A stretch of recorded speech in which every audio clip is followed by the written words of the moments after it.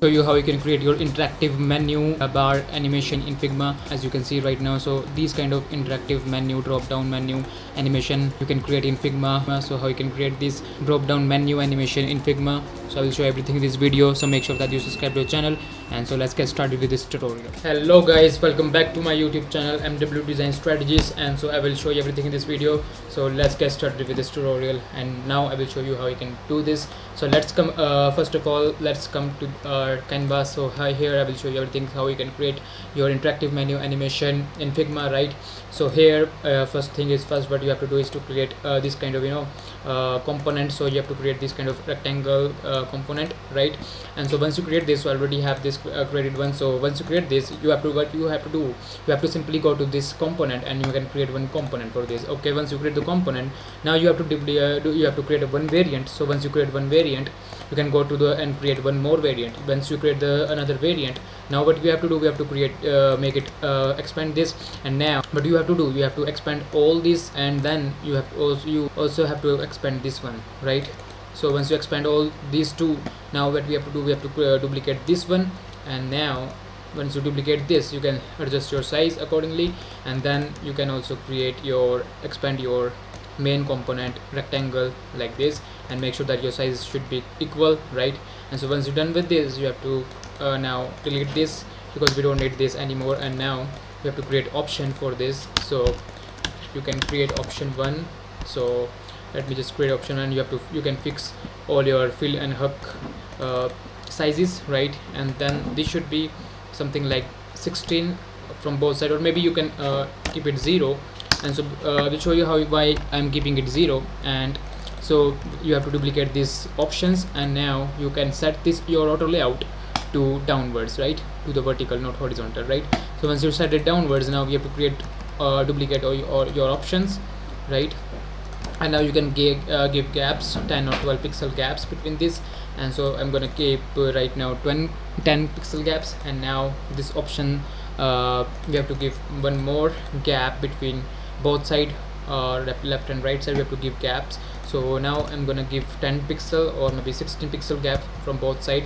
And now once you give gap from both side but you don't make sure that you won't give this one because we have to create this one something different right? Like select it or maybe hover effect we have to show. So that's why I'm not gonna give any gap for this one but after that I will give. So I will show you just in a second how I can do this how you can um, create select how I can make it selected one right? So now make it third and make it second and this one first and this one fourth and then this one should be fifth right? And then what we have to do we have to uh, we have to give uh, make it selected. So in order to make it selected what we have to do we have to create we have to add stroke. So you can see there is a stroke section so you can add stroke. And now here is a trick how you can do this. So here's a trick. You can see there is a you know all type of bottom lines top bottom left and right. So you can also make it custom. So for now i'm gonna give it left. And you can see there is a left uh, stroke will appear here. And then in order in order to make it selected you can give gap now. So now you can give 16 pixel gap. And now the stroke should be you can make this stroke like one pixel or two pixel bold right? So right now i'm gonna give 3 pixel bold I'm, I'm gonna make it 3 pixel bold and now you can change the color to blue or your uh, preferable color. So I'm, right now my preferable color is blue so I'm gonna keep blue color right? And now what we have to do we are, you know to make the prototyping so what you have to do in to make the prototyping so make sure that you watch this video till the end. You won't skip anything from this video. If you skip then you won't be able to learn the animation properly in this video right? So make sure that you won't skip your this video and watch this video till the end. So now in order to do that you can see there's a hamburger menu and so in, you can see there's a hamburger menu. We have to go to a prototyping section and now we have to create uh, link this to our second component. So now you can see there is a plus icon so you can link this to second one and now we have to adjust the smart animation prototype here. So if you do that you can uh, keep the setting on click and this one should be smart animation. So make sure that you this, this should be smart animate always. And now the third thing is that should be that should not be gentle quick bounce slow or anything from the above it should be custom. And you can see there is a custom always set here like here. Uh, let me just recreate this let me readjust this and show you. So if I if I click on custom you can see there is a it will be like this. So we have to make it something like we have to adjust this to 800 or 900 milliseconds here right? And this uh, you can see there is a dot. So you can set the dot like downwards little bit so it should not be like this okay? It should be downwards. So once you made this downwards what will happen? That your animation will always be always be animate like smooth animation will be there right? Your animation will be smooth animation right? So make sure that your dot should be down and then you can do something like this. And now we can across this and now we have to create another animation uh, another linking.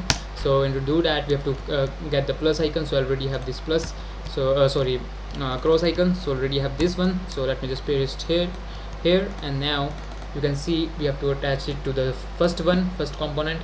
And same setting, settings you can keep here. And this dot can be above but it should be always down right? It can be above but you can make it down right? You should make it down right? Okay now what we have to do we have to click on the first component. And now we have to copy this and now paste it in our actual uh, design. So let me just create another another screen uh, another frame and now paste it here in the center. And now what you have to do you have to click on the shift shift and command and you can play your prototyping just in your canvas. So once I click on this one you can see there is an animation will appear like this. So that's how you can create your bar drop down menu animation drop down menu animation in Figma. So absolutely this is really very good anim animation. And you can also try it in your own projects in your own uh, designs right? So you can try this and hope this video will, will be helpful for you and for your future. So make sure that you subscribe to the channel if you haven't subscribed yet. And so i will create more animation video related to this one. And i will create more you know components animation interactive animation in figma. So i will create each and every part of animation on my channel. So make sure that you subscribe to the channel. And i will see you in the next video. Bye bye